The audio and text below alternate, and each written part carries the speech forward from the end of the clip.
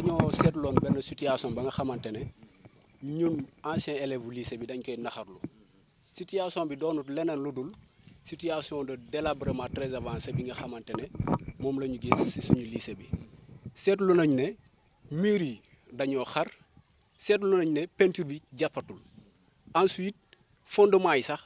jàppatul ba tax na tey ñun situation boobu ñoo ngi koy méttitlu di ko naxarlu. waaw mën nañ ne du ñu expert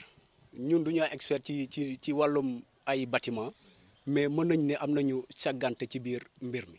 càggante bu bu bu waral bu bu waral ba tax na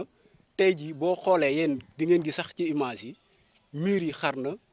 peinture yu jàppatut ñun donc dañu jàpp ne loolu sàggante la waaw. waaw ñaari côté yëpp mën nañ ko mën nañ ko euh, euh, askanale mbir mi ñaari côté yi su ma ko waxee mooy côté administration ak côté autorité yi ba tax na ñun ñoom ñaari yëpp la ñu jiiñ daal mbir mi. waaw ñun daal nuñ nu mu gën a gaawee daal noonu lañ ko bëggee ba tax na ñun ñoo ngi leen di woo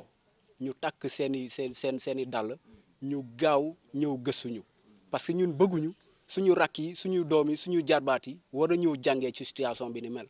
waaw ba tax na ñoom tey ji fu ñu toll ni ñun daal ñoo ngi yuuxu buñ ko déggee ñu jóg teem nu mu gën a gaawee pour ñëw saafaral mbir mi. mën nañ ne dafa dafa dafa doy waar en tout cas ñun suñu wàllu bopp ñun de dañoo ne dafa doy waar ba tax na tey ji ñun mënuñu def leneen lu dul ñaax. waajur yi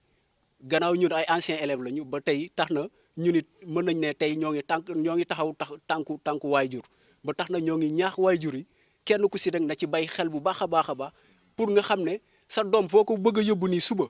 foofu daal amut kaarange ndax miir yi xar na bâtiment bi nu anam ba mu nekkee daal voilà weng na waaw